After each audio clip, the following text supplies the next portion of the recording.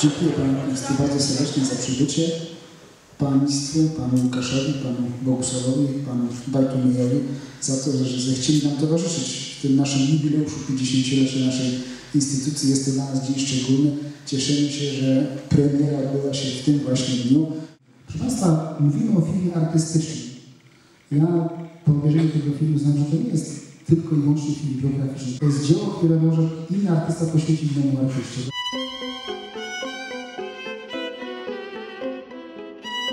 Obrazach Jawa było widać jego charakter.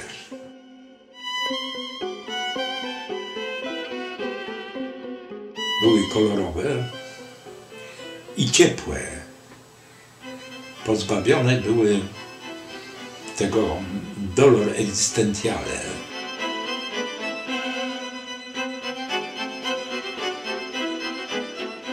Skąd pomysł na realizację tego projektu? Wstaliśmy projektu, a tuż później się będziemy wspierać czy dokument, dokumentalnego. Panie Łukaszu.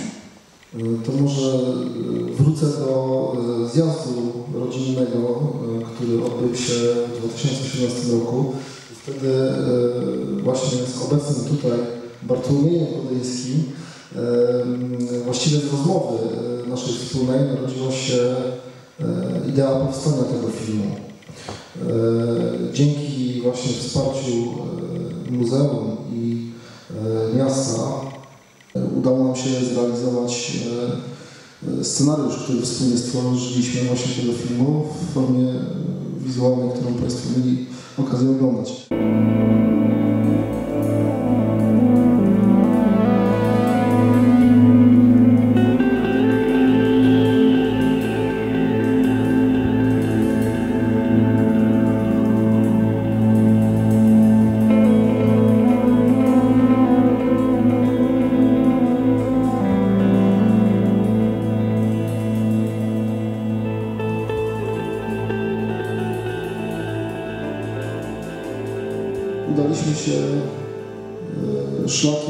Wisły oraz Podkarpacia, czyli e, odwiedzaliśmy miejsca, e, które, w których Jan tworzył. Ja takim razie muszę zapytać Pana Bartłomieja. Pan Łukasz mm, jest osobą bardzo młodą.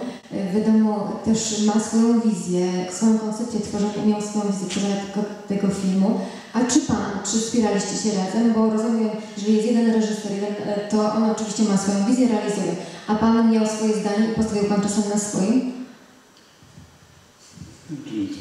W tej chwili sama postać Styja, jego praca, jego mm, artystyczna y, wypowiedź jest odpowiedzią na to wszystko, prawda? Bo przecież to jest i film jemu poświęcony i on się w tym, co robił przez lata swoje długie, wypowiadał najlepiej, a ja tylko uważałem, że właściwie spełniam jego może y, myśl, ideę, że wraca do jasno. Dlatego też ta decyzja moja o mm, przekazaniu wszystkiego, co miałem. W zasadzie jak oglądałem teraz ten film, no to wszystkie te, większość tych obrazów to ja znałem codziennie z nimi będąc w domu. A upływ czasu, jaki jest i ilość rodziny, która wokół też nie jest, trójka dzieci, szóstka wnuków, spowodowała, spowodowała taką myśl, że to trzeba zachować, a to się rozproszy po właśnie po rodzinie. I ten film też jest kontynuacją y, Państwa działań, prawda? Film, no tak, no film jeszcze to utrwala, dokumentuje, bo różne y, dzieje są, jak i obrazy ksiąg, no i filmów, ale im więcej, myślę, że to nie tylko, że Łukasz zrobił pierwszy film, ale ten film może być jeszcze posłużyć, znaczy nie ten film, no w ogóle twórczość Łodyńskiego w oparciu o jego y, tutaj y, rodzinną ziemię może być jeszcze w jakiś inny sposób przedstawiona. Panie Łukaszu, jeszcze mam pytanie, bo spieraliśmy się na początku o to, y, że nazywamy ten fi- y, film y, filmem dokumentalnym, projektem dokumentalnym. Ja mm, pozwolę nie zgodzić się z tą opinią. Uważam, że to jest y, trochę taki film artystyczny, bardzo artystyczny dla mnie. Nie, jakoś, nie chciałabym go w swoich ramach za- za- zamykać dokumentu. Czy, pan, czy to było celowe za- zamierzenie z Pana strony? W tym pytaniu jest zawarte kilka pytań. E, Przede wszystkim e, zależało mi na tym, żeby, ponieważ też y, jestem malarzem, żeby wejść w tą strukturę obrazów, żeby poczuć to, tą twórczość stryja y, i y, żeby też spróbować spojrzeć na naturę, y, która właściwie jest, stała się sama drugim bohaterem tego filmu e, oczami właśnie Jana Wodońskiego. Dlatego nieodłączną częścią też tego filmu jest muzyka i tutaj też e, miałem ciężki orzech do zgryzienia, ponieważ chciałem zachować też pewien charakter e, regionu, tego mm, ciekawego regionu Polski, jakim jest Podkarpacie i tutaj też jasielskie środowisko. E, Gdzieś e, też te motywy etniczne, żeby one wystąpiły w warstwie muzycznej. E, No i właściwie kiedyś oglądając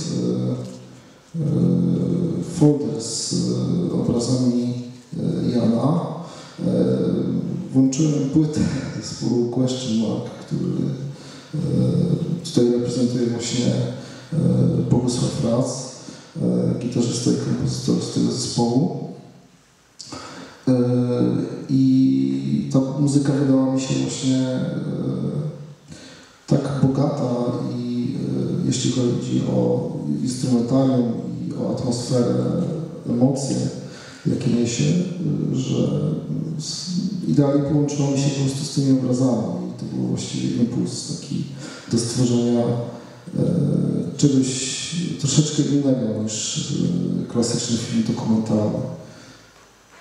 Pan Bogusław został wywołany do odpowiedzi, więc chciałabym go zapytać w takim razie o tą muzykę. Muzyka była tworzona zupełnie jak gdyby mm, nie do obrazu przede wszystkim, bo to była płyta, y, to jest płyta taka dość improwizowana, y, grana na tak zwaną setkę, czyli nagrywana w studio. mm, Cały zespół gra po prostu normalnie, tak jak kiedyś się grało na instrumentach.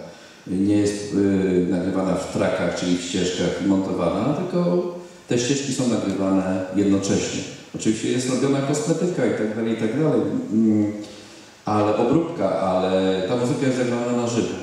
W takim razie, jakie projekty muzyczne Pan przygotowuje obecnie? Pomysłów jest za dużo. To od razu mówię, za dużo, za dużo się dzieje. Natomiast e, ja rzeczywiście zajmuję się muzyką etniczną i polską, i powiedzmy światową. I ostatni taki ciekawy zespół, który udało mi się e, dopiąć, to jest Ritual Art Orchestra ze Steven Kidlerem, ojcem muzyki world music, który w latach 80. był bardzo popularnym twórcą amerykańskim. Yy, grywał m.in. z gitarą, z wieloma gwiazdami, jak Machawiczną Orkiestrę, John McLaughlin, etc., Jean Conti. Aktualnie mieszka na Węgrzech i przez przypadek nawiązaliśmy kontakt. Yy, Często u mnie bywa, mieszkał u mnie, nagrywamy, gramy i gramy muzykę, można powiedzieć, world music, yy, improwizowaną na instrumentach etnicznych z całego świata, czyli od hinduskiej przez powiedzmy arabską, polską i wiele, wiele innych instrumentów. Dziękujemy za spotkanie. Bardzo.